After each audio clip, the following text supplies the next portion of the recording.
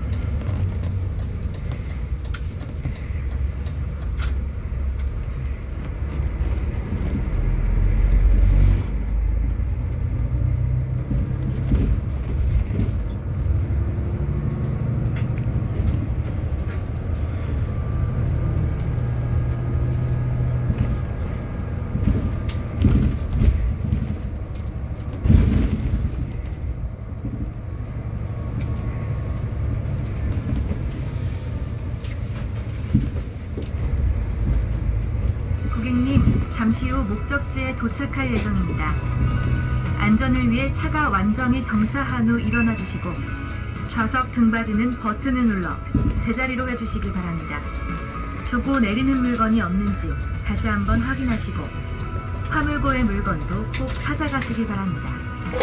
전국 노선망을 갖춘 교통인프라를 이용해 다양한 물품을 당일 배송할 수 있는 고속버스 소화물 운송 제도도 운영하고 있으니 고객님의 많은 이용 바랍니다.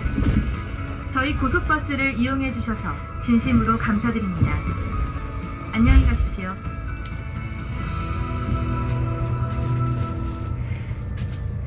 오전에 보내고 오후에 받는 오늘 택배, 제로데이 택배.